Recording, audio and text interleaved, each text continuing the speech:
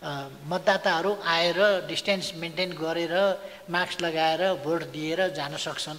यद्यपि यो परिस्थिति अनुकूल त होइन तर यस्तै बेलामा जस्तो अमेरिकाको निर्वाचन निर्धारित समयमा हुने गर्छ यस्तै बेलामा चाहिँ भयो।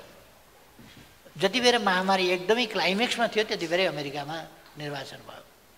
त्यसर्थ कहिले कहिले महामारीका बेला जापानदेखि लिएर ती भारतका विभिन्न प्रान्तहरूमा पश्चिम बङ्गाल जस्तो त्यत्रो पपुलेसन अथवा अरू ठाउँहरूका एकदमै पपुलेटेड ठाउँहरूमा भारत त पपुलेटेड छ हामीलाई थाहा छ। त्यस्ता ठाउँमा पनि इलेक्सनहरू भएका छन् किनभने इलेक्सन भनेको चाहिँ स्वेच्छाले मात्रै गर्ने कुरा हुँदैन।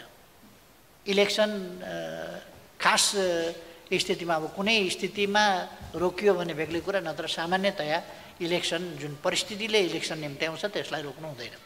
यदि मैले भनेको समयमा इलेक्सन भएको भए डिस्टेन्स मेन्टेन गरेर गर्न सकिन्थ्यो।